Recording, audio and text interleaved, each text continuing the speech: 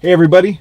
Welcome to this edition of 5 Minutes Less of EMS. I'm your host, Kevin Mackey. We're coming to you again from the back of Reach 50 at Mather Airport. We're here again with Dr. David Duncan. We just completed the talk on TXA and kind of the history of TXA and its indications and use. And now I want to talk to you about the Sacramento County specific policy since I am the Regional Fire Medical Director for Sacramento County and Dave has a few people who work in Sacramento as well. So this is policy 8065. It just came out on May 1st, and the part I want to talk to you about is the addition of the tranexamic acid to it. So if you go to the third page of the policy at the top, you see that the very first box is does the patient meet Sacramento County EMS agency anatomic, physiologic, or mechanism of injury field trauma triage criteria? If they do not, then that's a fallout and you don't give the patient TXA. But if the person does, the inclusion criteria are very similar to what Dr. Duncan just talked about.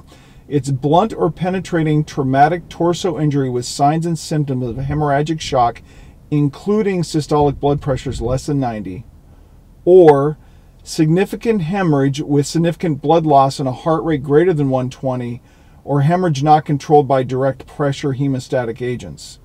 Okay, so now we'll cover the exclusion criteria. Many of this was talked about in the first video that Dr. Duncan and I did. Remember, greater than three hours, you do not want to be giving this to patients who've had their injury greater than three hours. It's been time since onset, greater than three hours, I think is the way we put it. Isolated extremity injuries, if you can control it with a tourniquet or direct pressure. Remember about those patients with isolated spinal shock. Dr. Duncan also talked about that. Uh, if they've had a thromboembolic event like a stroke or an MI within the last 24 hours, we don't want to be giving TXA to those folks either. And then hypotension or traumatic arrest, I'm sorry, traumatic arrest with greater than five minutes or CPR without ROSC. So those are the exclusion criteria. You can refer back to the policy for specifics as well.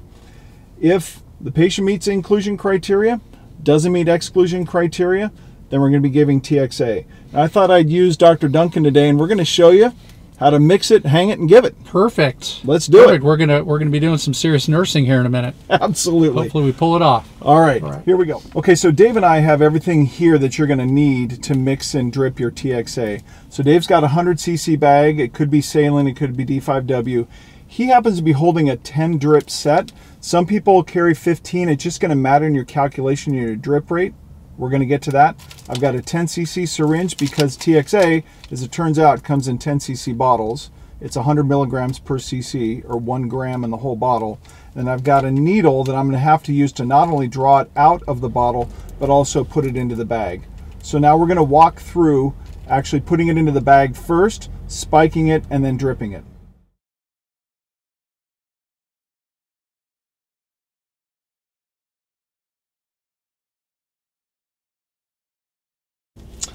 Okay, and very important for this last part is do not forget to label the bag because when we hand this patient off, we're going to want the staff to know that our patient is in fact receiving TXA. Okay. We're gonna redo that, dude. That just looked ridiculous. That's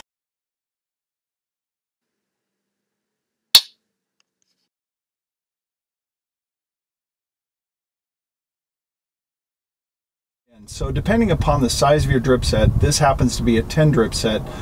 To run in 100 cc's over 10 minutes is literally going to be 10, 100 drops per minute. So I'm going to set a metronome and I'm going to start adjusting my drip rate till I can hit every step of the metronome.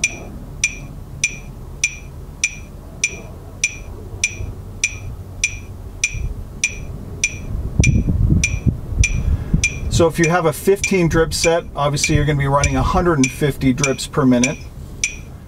Okay, so that's a wrap for today's episode of 5 Minutes Less of EMS. Dave, thanks again for joining me. Kevin, thanks so much for having me. What a pleasure to talk about TXA. Absolutely. So refer back to your local policy for specifics on TXA. You can use some of the tips we talked about. But most importantly, we look forward to seeing you next time on 5 Minutes Less of EMS.